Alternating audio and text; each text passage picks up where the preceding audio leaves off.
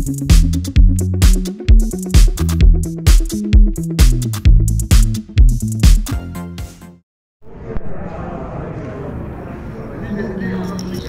nga. Uh, ano ako, nasa uwa ako.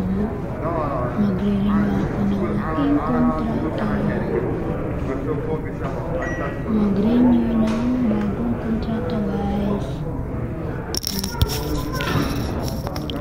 Ayan, buti na lang hindi masyadong matao. Kukunti lang yung tao guys. Kaya mabilis ako. Ayan yung form.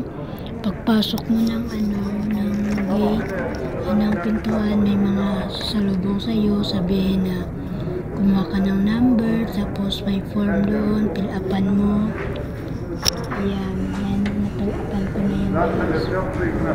Natulapan ko na yung form na binigay. Madali lang naman yun. About lang naman sa ano yung ano.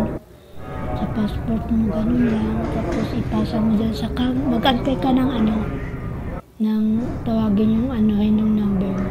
Pumunta dito kanina din, nagpagreklamo ata. Oo. Bayan natin. Oo. Tapos tinanong siya dyan ng sa. Oh. Ayong may dalang malita? Ah, diba? Hindi, parang hindi siya maintindihan. Hindi, hindi, niya alam kung sasabihin niya. Tinatanong nga siya. Hmm? Kung sino yung magreklamo sa kanila. Amo ba o siya? Oo. Ako nga siya sa turo. Hindi, ano. Oo, kawawa naman. Yung iba rin yung may dalang malita. Magrereklamo din yun. Luma... Hmm.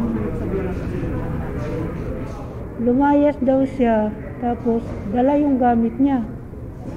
Tapos, hinatid siya doon sa embassy. So, kawawa naman mga ganun. Ayan guys, may Pinay na nakita namin doon sa pulo.